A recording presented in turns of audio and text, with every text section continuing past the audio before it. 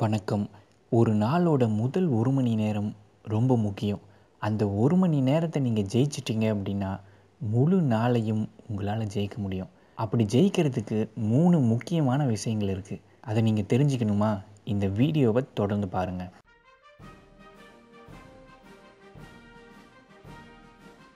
முதலாவது காலையில் எழுந்த உடனே குறைந்தபட்சம் ஒரு மணி நேரமாவது உங்கள் ஃபோனை நீங்கள் தொடவே தொடாதீங்க.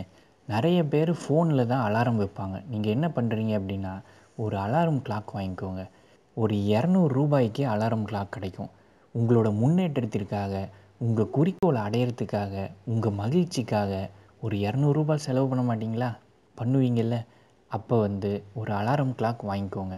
ஏன் ஃபோனை தொடக்கூடாது அப்படின்னு சொல்கிறேன்னா உங்கள் ஃபோனில் ஃபேஸ்புக் இருக்கும் வாட்ஸ்அப் இருக்கும் ட்விட்டர் இருக்கும் மெயில் இருக்கும்.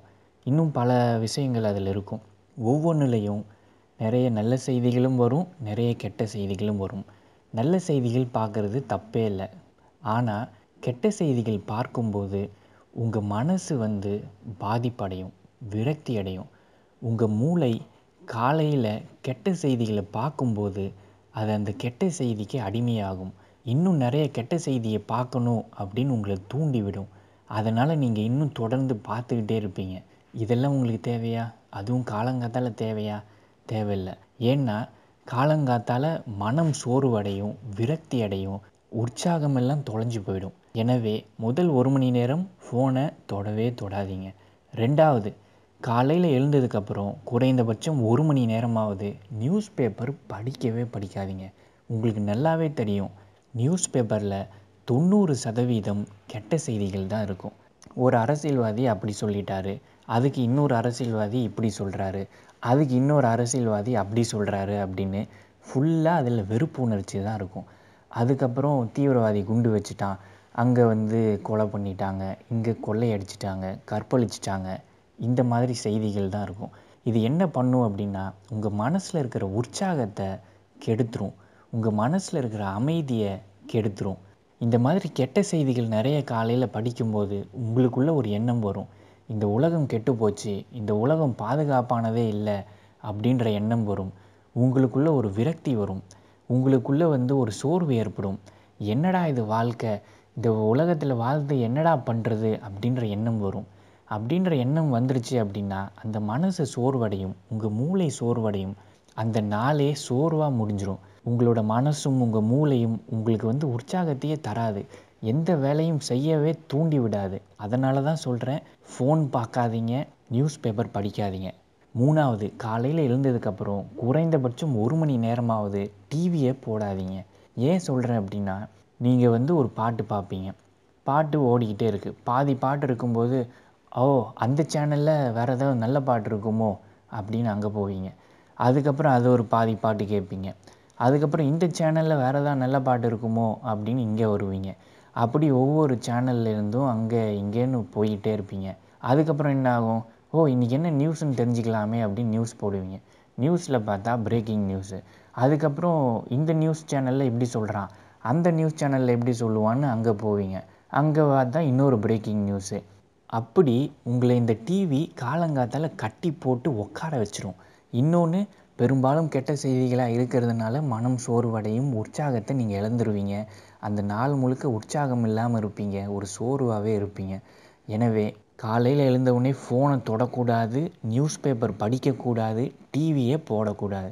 சரி இந்த மூணையும் பண்ணக்கூடாது அப்படின்னு சொல்கிறீங்க அப்படின்னா முதல் ஒரு மணி நேரம் நாங்கள் என்ன தாங்க பண்ணுறது அப்படின்னு கேட்குறீங்களா இதோ சொல்கிறேன் காலையில் எழுந்ததுக்கப்புறம் வீட்டில் இருக்கிறவங்களுக்கு இனிய காலை வணக்கம் அப்படின்னு சொல்லுங்கள் உங்களோட நாள் இனிமையான நாளாக அமையட்டும் அப்படின்னு மனசார வாழ்த்துங்க.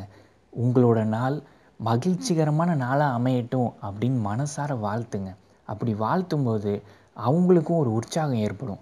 இந்த மனுஷன் காலையில் எழுந்ததுக்கப்புறம் டிவியை பார்க்காம ஃபோனை பார்க்காம நியூஸ் பேப்பர் படிக்காமல் நேராக நம்மக்கிட்ட வந்து இப்படி வாழ்த்துறாரு நம்ம மேலே தான் இவருக்கு எவ்வளோ ஒரு அன்பு எவ்வளோ ஒரு அக்கறை அப்படின்ற ஒரு எண்ணம் ஏற்படும்.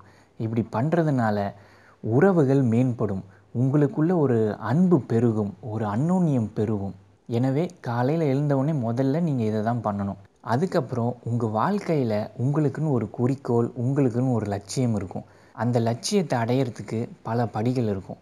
அதில் ஏதாவது ஒன்றை அந்த ஒரு மணி நேரத்தில் நீங்கள் பண்ணுங்கள் நான் நல்லா ஆங்கிலம் பேசணும் அப்படின்றது தான் உங்கள் குறிக்கோளாக இருக்கும். அப்படின்னா நீங்கள் என்ன பண்ணலாம்? காலையில் முதல் ஒரு மணி நேரம் கண்ணாடி முன்னாடி நின்று நீங்கள் வந்து ஆங்கிலத்தில் பேசி பழகலாம். விதவிதமான தலைப்புகளை நீங்கள் பேசி பழகலாம். அப்படி பண்ணும்போது என்ன ஆகும்னா நாளடைவில் உங்களுக்குள்ளே ஒரு உற்சாகம் வரும். உங்களுக்குள்ளே ஒரு தன்னம்பிக்கை வரும்.